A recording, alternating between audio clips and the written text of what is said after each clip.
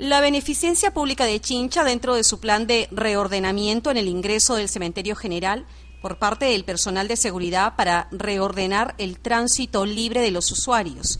El administrador sufrió el arrojo de un balde de chicha por uno de los vendedores que se opuso al ordenamiento de su negocio, como lo realizaron algunos vendedores poniendo el libre tránsito de los peatones. Estas afirmaciones las realizó el jefe de seguridad José Ramírez. Sí, sí, este, señores periodistas, primeramente agradecerle ¿no? por su visita para ver y hacerle este, bueno, el, de conocimiento pues, de, los trabajos de reorganización que se está haciendo ¿no? en cuanto al, a la orden que viene de, la oficina central, ¿no? al trabajo que viene realizando la gestión del, del señor gerente este, Andy y la profesora Carmela como presidente del directorio.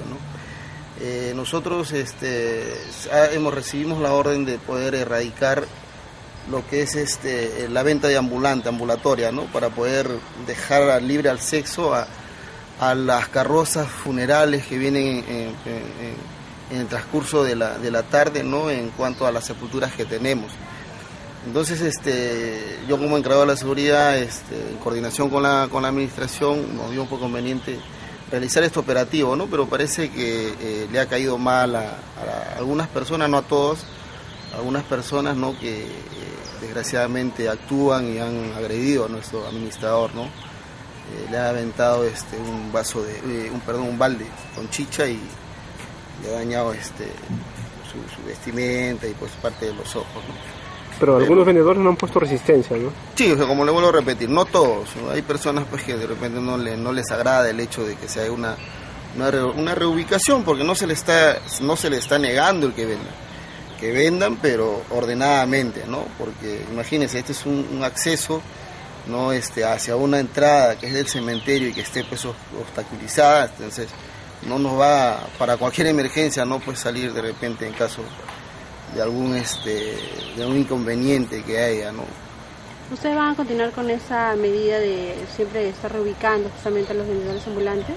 Sí, o sea, eh, el trabajo se viene realizando ya este eh, ya con anterioridad, ¿no? Con, por intermedio del señor gerente.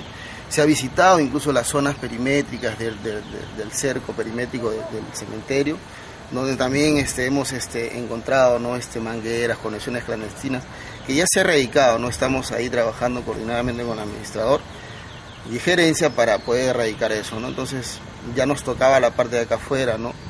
y hemos hecho ese trabajo, ¿no? Eh, también hacerle recordar este, a la población que todo trabajo de reubicación y organización es para el bien ¿no? de, la institución, para el bien de la población chanchana, porque usted sabe que este es el cementerio general, ¿no? entonces es aquí donde vienen personas de otro sitio, vienen a visitar a sus seres queridos acá y imagínense llevarse una mala imagen pues en cuanto al caos que puedan ocasionar acá adelante.